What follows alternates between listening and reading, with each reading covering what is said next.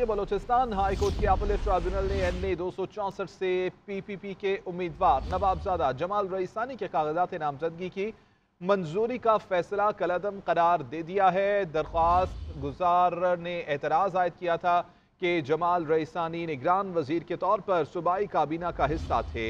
Updates आप तक पहुँचा रहे हैं। आपको ये बताएँ कि बलोचिस्तान हाईकोर्ट के अपलेट ट्राइब्यूनल ने एन ए दो सौ चौंसठ से पी पी पी के उम्मीदवार नवाबजादा जमाल रईसानी के कागजात नामजदगी की मंजूरी का फैसला कलदम करार दे दिया है और दरख्वास्त गुजार ने एतराज़ किया था कि जमाल रईसानी निगरान वज़ीर के तौर पर सूबाई काबीना का हिस्सा थे।